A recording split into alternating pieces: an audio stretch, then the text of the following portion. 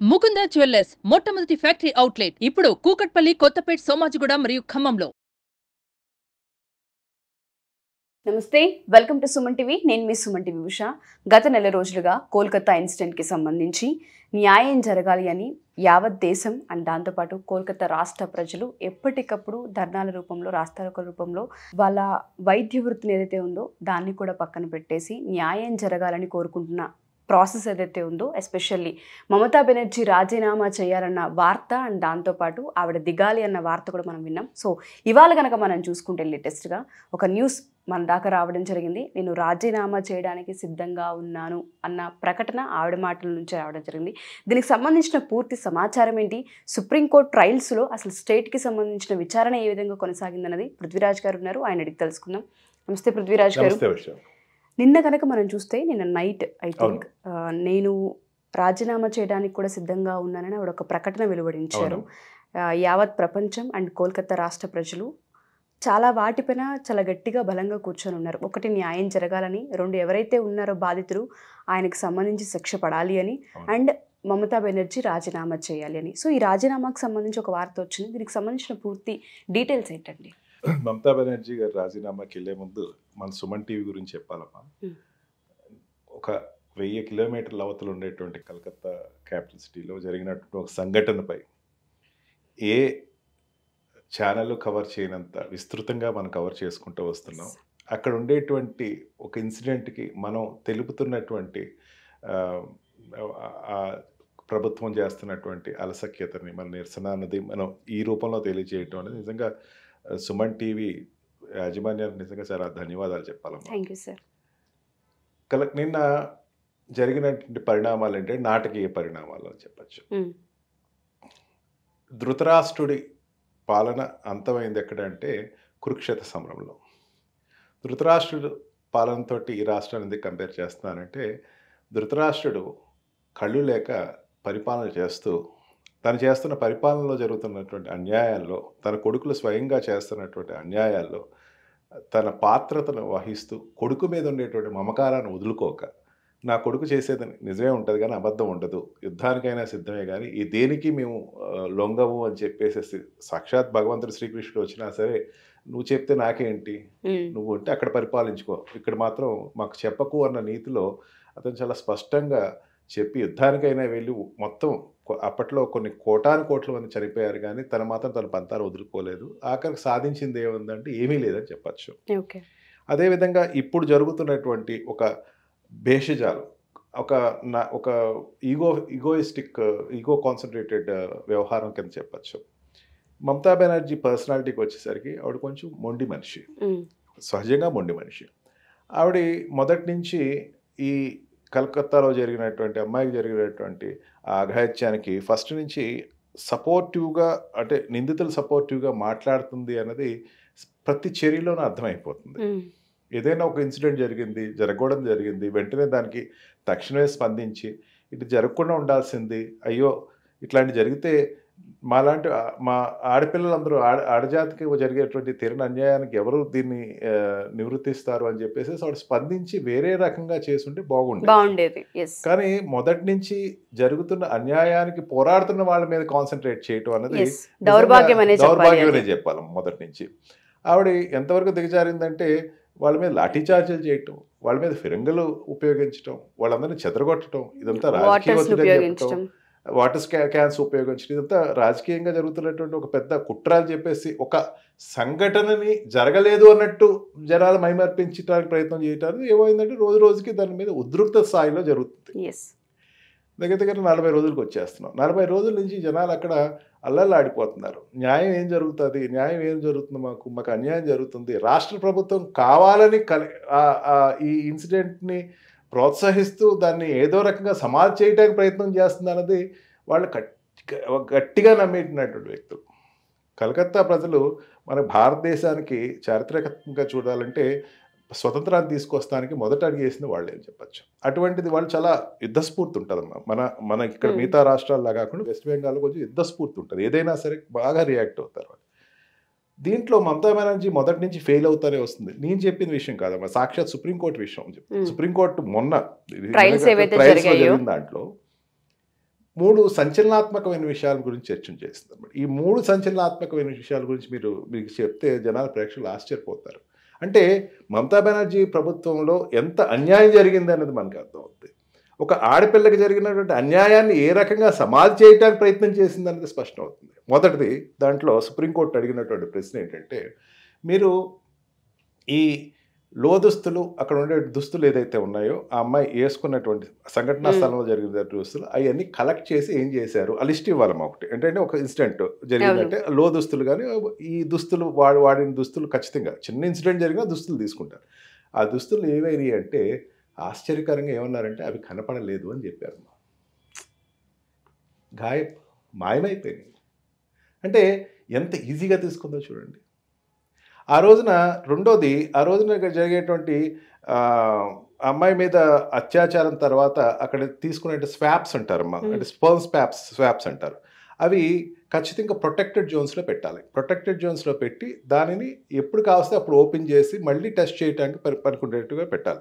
దాన్ని ఒక thirty degrees సెంటిగ్రేడ్లో పెడతారమ్మా. ఒక ఫ్రీజర్లో పెడతారు.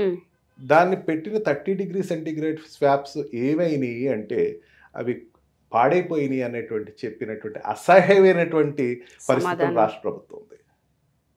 మూడోది మీరు ఆ రోజు జరిగినటువంటి twenty six twenty six hours twenty four to twenty six hours. Video footage ఒకసారి మాకు చూపించండి అంటే కేవలం వాళ్ళు ట్వంటీ సెవెన్ మినిట్స్ ఉన్నటువంటి ఫుటేజ్ ఇచ్చారు వాళ్ళు.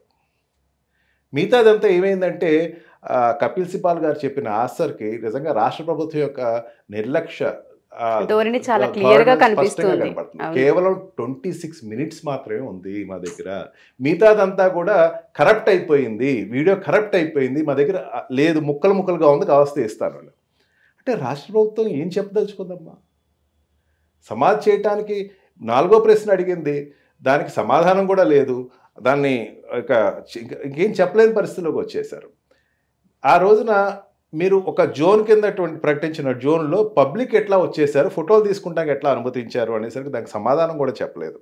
అంతే మొదటి నుంచి దీనిలో ఒక నీ నీ- ఈ రాష్ట్ర ప్రభుత్వం యొక్క హ్యాండ్ ఉంది. అక్కడ ఉండేటువంటి ప్రిన్సిపాల్కి ఎవరైతే ఉన్నారో ఘోష్ ఎవరైతే ఉన్నారో అతని ఆదేశాల మేరకు ఇన్వెస్టిగేషన్ జరిగిందమ్మా ఇప్పుడు ఏదైనా ఒక ప్రాంతంలో జరిగేటువంటి ఒక సంఘటన ఎక్కడ పొలం దగ్గర లేకపోతే వేరే చోట ప్రదేశాల్లో ఒక దుర్ఘటన ఏదైనా జరిగింది అనుకోండి ఈ మానభంగాలు ఎవరో. జరిగినాయి తీసుకెళ్ళి హాస్పిటల్లో పెడతారు. హాస్పిటల్లో జరిగేటువంటి ప్రా ప్రాసెస్ మీద కాన్సన్ట్రేట్. చేస్తారు ఇక్కడ స్వయంగా హాస్పిటల్లోనే జరిగింది అంటే హాస్పిటల్లో జరిగేటువంటి విషయానికి ఎంత కేర్ తీసుకోవాలమ్మా వాళ్ళు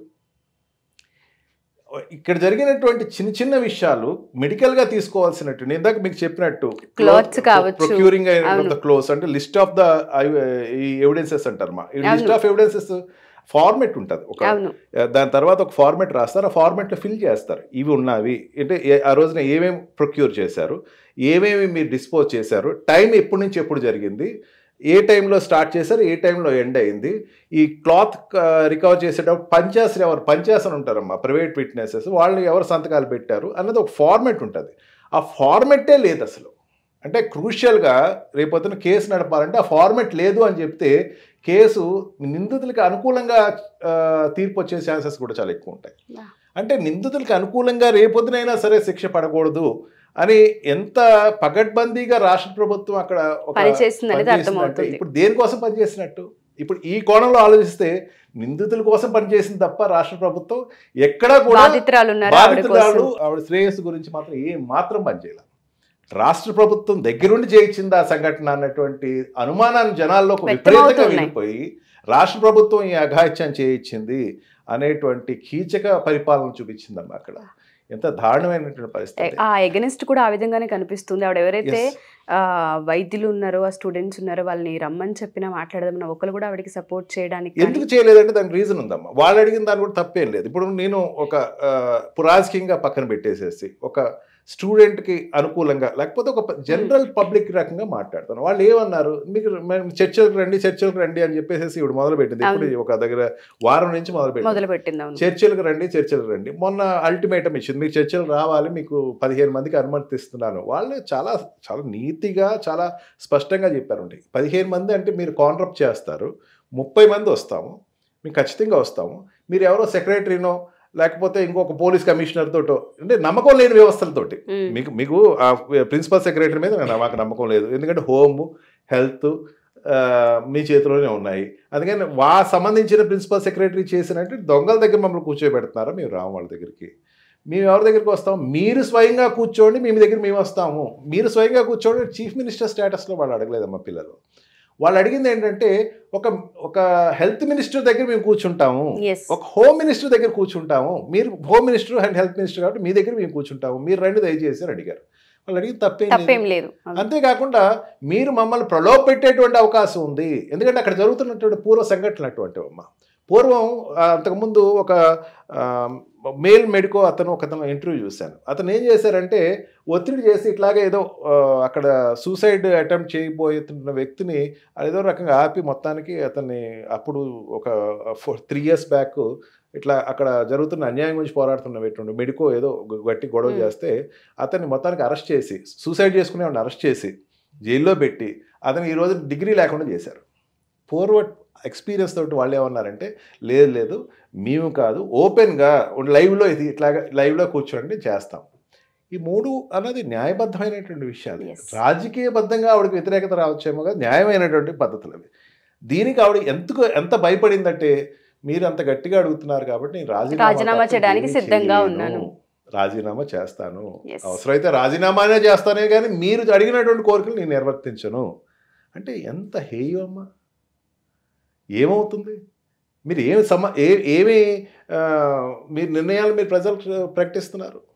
మీరు రాజీనామా చేస్తే జనాలందరూ అయ్యో మమతా బెనర్జీ దీది రాజీనామా చేస్తుంది ఆవిడ రాజీనామా చేయొద్దని బతిమాలతారు అనుకుంటుంది సానుభూతి పొందే అవకాశం సానుభూతి? కాదమ్మా సానుభూతి పక్కన పెట్టేసేయండి. మొత్తం డైవర్ట్ చేయటం. మొదటి నుంచి ఆవిడ. పద్ధతిలో చూసుకుంటే ఈ ఇన్సిడెంట్ జరిగిన తర్వాత ఇమీడియట్గా ఆవిడ వాళ్ళతోటి కలిసి ధర్నా చేయటం. తర్వాత ఒక లా తీసుకొచ్చారు. చేయకపోతే కేంద్ర ప్రభుత్వం అంత చూస్తాను రాష్ట్ర ప్రభుత్వం రాష్ట్రపతి అంత చూస్తాను గవర్నర్ అంత చూస్తాను బెదిరించడం తర్వాత లాస్ట్గా వచ్చేసరికి నేను రాజీనామా చేస్తాను మీరు రమ్మంటే రావట్లేదు. అంటే తన ఒక రకమైనటువంటి ఒక ఎవరైనా చిన్నపిల్లలు దొరికిపోయారు అనుకోండి వాళ్ళు ఒక రకమైనటువంటి బెదిరిస్తూ మొదలు పెడతారు Behavior బ్లాక్ మెయిల్ మనం మొదలు. పెడతారు. ఈ. రకంగా ఆవిడ బ్లాక్ మెయిల్ అన్నది రాజకీయ రాజీనామా అనేది పెట్టుకుంది ఆవిడ. రాజీనామా అన్నది ఆవిడ ఉద్దేశం కాదు. బ్లాక్మెయిల్ రాజకీయం చేస్తుంది. నిజంగా రేపొద్దు రాజీనామా చేసినా సరే దాని జనాలు అన్నది హర్షించేటువంటి పరిస్థితులు లేరు అక్కడ. అసలు మేము అడిగింది ఏంటి? మీరు చేస్తుంది ఏంటి? మీరు పదవి రాజీనామా చేస్తే అక్కడ జరిగినటువంటి కుటుంబానికి జరిగినటువంటి ఆడపిల్లకి న్యాయం జరుగుతుందా? బాధ్యత తీసుకుని బాధ్యతాయుక్తంగా అక్కడ ఉన్నటువంటి వాళ్ళు ఎవరైనా సరే నేను వీళ్ళని పట్టుకున్నాను ఇంతకుముందు ఉన్న వాళ్ళ కారు వీళ్ళని నేను పట్టుకున్నాను నేనే స్వయంగా దిగాను ఇంతకుముందు జరిగిన దానికి నేను బాధ్యత తీసుకున్నాను. అదంతా జరిగింది. నా కనుసైకిల్లో జరుగుతున్నటువంటి వ్యవస్థ నిర్వీర్యం అయిపోయింది అని ఒప్పుకోమనండి. She want to save a personality against the people's will జనాలకి వ్యతిరేకంగా కొంతమంది సేవ్ చేసేటువంటి పరిస్థితిలో ఆవిడ ఉంది హేయు అమ్మ. చాలా దౌర్భాగ్యమైన. నిజంగా సార్. బట్ ఆవిడ రాజీనామా చేస్తాను అన్న మాట వెనుక ఉన్న అంతరార్థం ఏంటి అనేది నిజంగా మీరు మాట్లాడుతూ ఉంటే బెదిరిస్తున్నారా? లేదు అంటే టర్న్ చేయడానికా డైవర్ట్ చేయడానికన్నా అర్థం కాని పరిస్థితి అని ఆ క్వశ్చన్ మార్క్ కనిపిస్తుంది ఏదేమైనా దీనికి సంబంధించి ఇంకా పూర్తి సమాచారం మనకు కూడా రావాల్సిన అవసరం ఉంది. ఇంకా ఇవాళ జాతీయ మీడియా స్థాయిలో కనుక మనం చూసుకుంటే కొంత ఇన్ఫర్మేషన్ కూడా వచ్చే అవకాశం ఉంది కాబట్టి ఇన్ఫర్మేషన్ బట్టి మనం ఇంకొక ఎపిసోడ్ ఖచ్చితంగా గురించి చేద్దాం. థ్యాంక్ యూ పృథ్వీరాజ్ గారు. Thank you so. మచ్